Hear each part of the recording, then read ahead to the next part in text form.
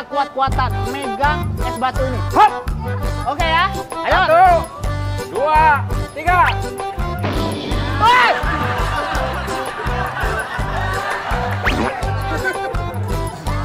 Ayo, ayo.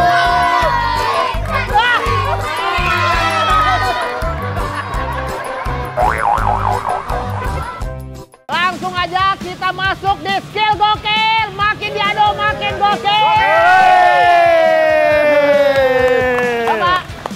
peraturannya siapa yang paling cepat memindahkan balok es sebanyak 10.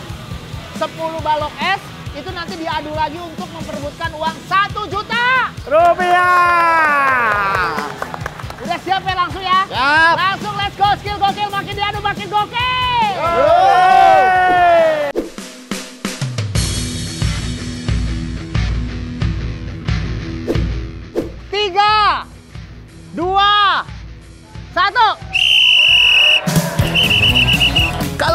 Kekuatan emang nggak ada habisnya deh warga gokil. Pasti bikin kita terpana menyaksikannya. Oh, oh.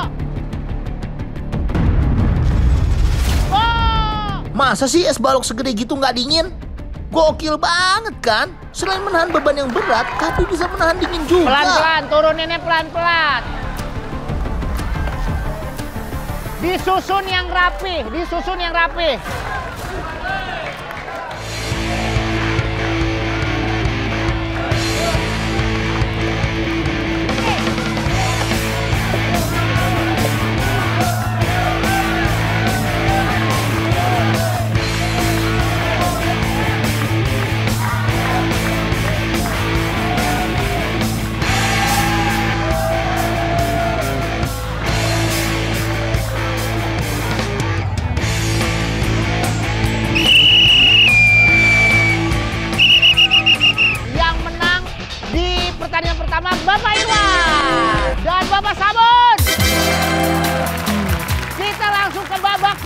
Skill gokil.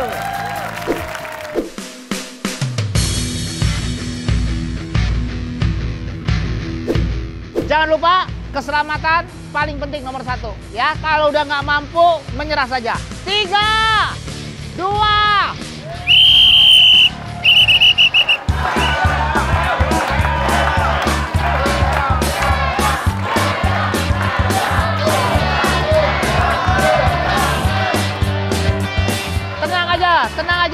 Keselamatan kalian nomor satu.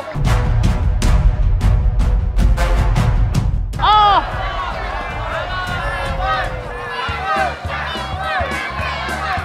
Jangan tergesa.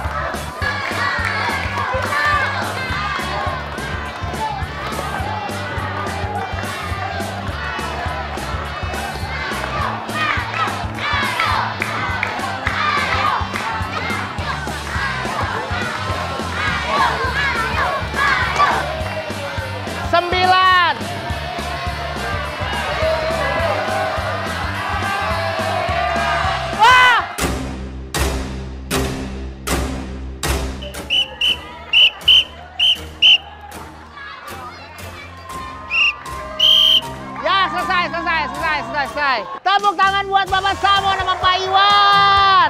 Siapakah yang berhak mendapatkan gelar Iceman? Pak Samun memecahkan balok es satu ya Pak. Jatuh tadi kenapa? Le? Licin. Licin apa udah habis tenaganya? Licin. Pak Iwan memecahkan balok es dua ya. Iya. Yang eh, yang balok ketiga sama yang jatuh tadi licin juga tuh. Licin. Nah, Pak Iwan mendapatkan pelanggaran mendorong es batu dari situ ke situ, didorong. Dan yang juara pertama mendapatkan satu juta adalah Pak Samo.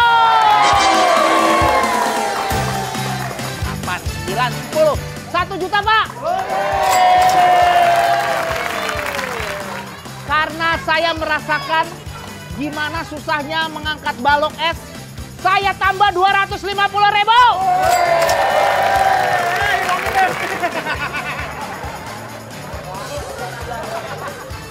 Bapak sebagai juara dua mendapatkan 750 ribu.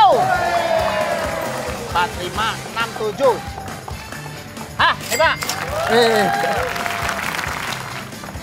Bapak, mau hadiahnya uang tunai apa hadiah hiburan nih? Uang tunai dong.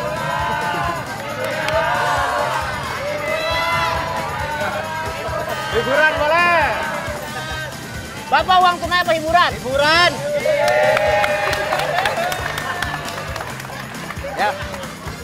Bapak ada hiburan ya?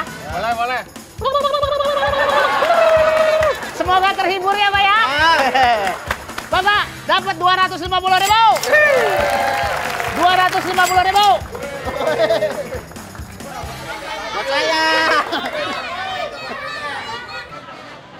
Skill gokil. Makin diadu makin gokil. Mas